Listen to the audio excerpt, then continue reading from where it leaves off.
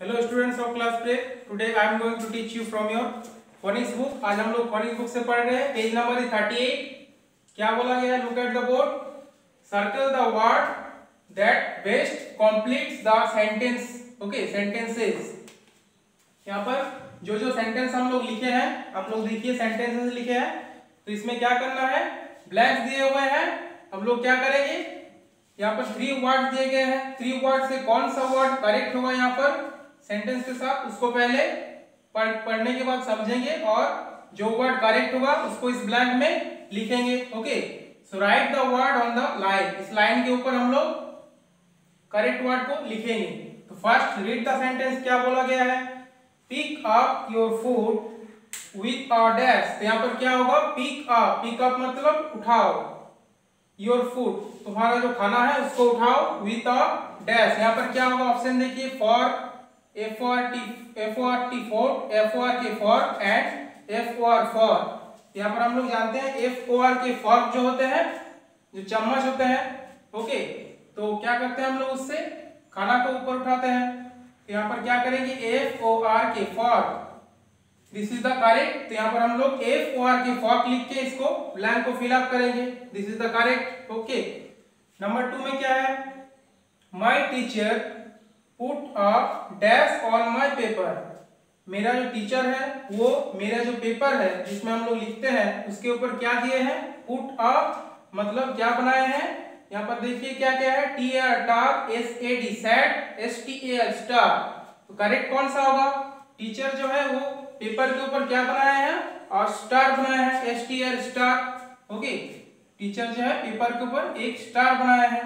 Put a star okay number three में देखिए क्या है? Dad can dash a person well father जो है डैड जो है कैन डैश क्या कर सकते हैं? ए पर्सन वेल यहाँ पर ऑप्शन देखिए. R A W rock S A W saw and D R A W draw last में जो आप लोग देख रहे हैं, क्या ये? D R A W draw draw मतलब क्या है? पिक्चर बनाना. ओके जैसे आप लोग बनाते हैं तो डैड कैन ड्रॉ होगा यहाँ पर. D R A W draw मतलब पिक्चर बनाना।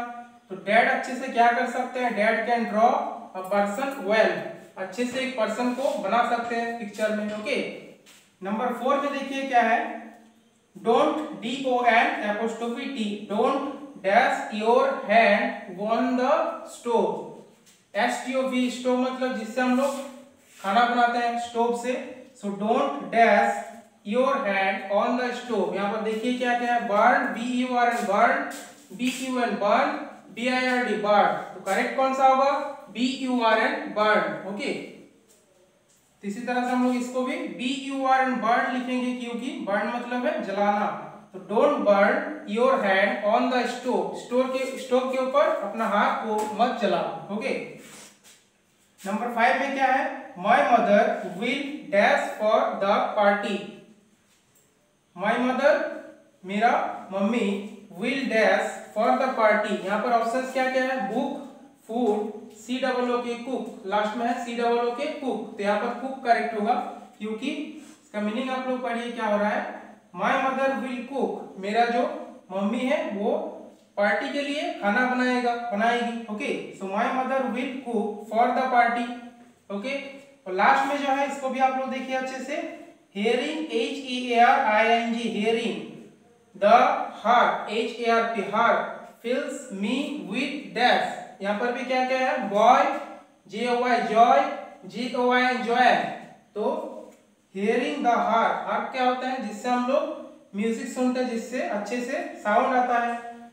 ओके स्वीट साउंड आता है जिससे। तो हेयरिंग मतलब सुनना हार्ट को सुनने से क्या होता है? फिल्स मी विथ डैश मुझमें क्या आ जाता है? जॉय आ जाता है। जे ओ वाई जॉय मतलब खुशी आ जाता है मेरे अंदर। Okay so hearing the heart fills me with joy J O Y joy तो आप लोग इसी तरह से इस वीडियो को देख के पेज नंबर 38 को अच्छे से बुक में कर लीजिएगा। Okay so meet you in the next video bye